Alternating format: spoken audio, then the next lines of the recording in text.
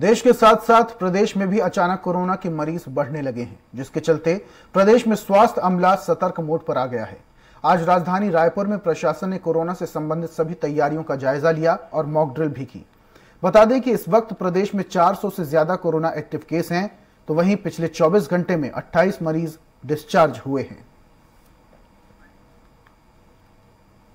जिला अस्पताल में भी बेड्स की उपलब्धता है इसके अलावा अन्य विकासखंड स्तर पर भी जो हमारे सी एस सी है, वहाँ पर भी बेड उपलब्ध कराने की बात अभी आज हुई है। तो लगभग आने वाले समय में हम लोग एक हज़ार बेड्स की तैयारी रखेंगे। दूसरा इसमें वैक्सीनेशन का कभी थोड़ा शॉर्टेज है तो वैक्सीन के लिए हमने पत्राचार करने के लिए सी को कहा है।